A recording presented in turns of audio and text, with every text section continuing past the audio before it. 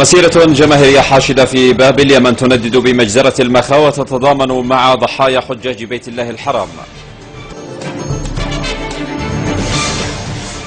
مصادر عسكرية يمنية تؤكد مشاركة إسرائيلية مباشرة في الهجوم الذي استهدف السيطرة على منطقة باب المندب. مبعوث الأمم المتحدة لليمن يؤكد ضرورة وقف نهائي للحرب في اليمن.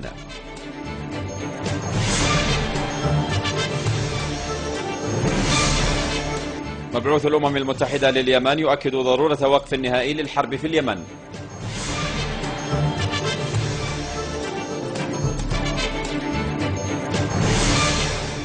مصرع عدد من جنود وضباط العدو السعودي في عملية محكمة للجيش واللجان الشعبية في الربوع بعسير.